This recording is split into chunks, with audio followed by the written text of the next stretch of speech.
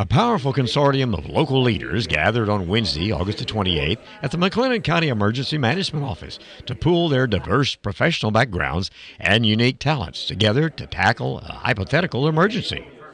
Emergency service leaders met with city and county employees, plus local fire, emergency, law enforcement, and medical entities to discuss their roles in the event of a local disaster.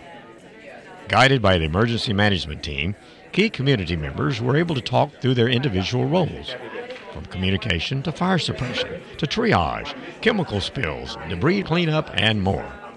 The exercise simulated an F 5 tornado touching down throughout Waco, striking a large senior care facility and the Cameron Park Zoo, releasing three tigers and two bears into the city.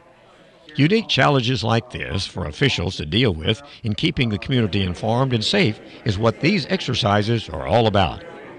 Annual tabletop discussions and drills like this one ensure that the Office of Emergency Management and our city leaders are thoroughly prepared and able to work together to protect our citizens in the event of a disaster.